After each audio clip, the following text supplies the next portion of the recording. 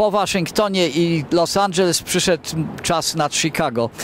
Po weekendzie spędzonym w parafii świętego Jacka jesteśmy w downtown Chicago. Spędzimy tutaj kilka dni i mam nadzieję, że te dni będą równie owocne jak e, czas spędzony w poprzednich miejscach.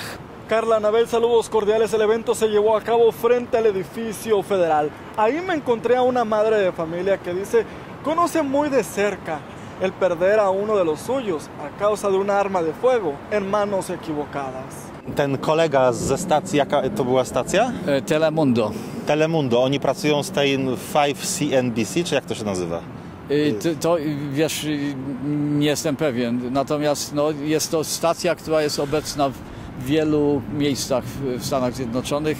Zajmuje się publiką e, hiszpańskojęzyczną. No bo zaprosił nas na jutro do swojego studia i pytanie, czy pójdziemy.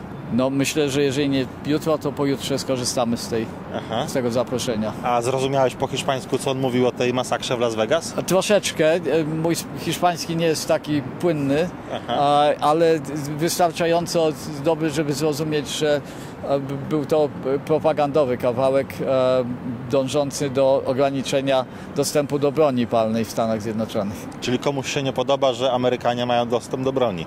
No zdecydowanie jest tutaj od wielu lat propaganda idzie w tym kierunku. A w Polsce powinniśmy mieć spluwy, czy nie? Jak najbardziej. Tak? Ja jestem za dostępem do broni. O kurczę, ja się nad tym nie zastanawiałem.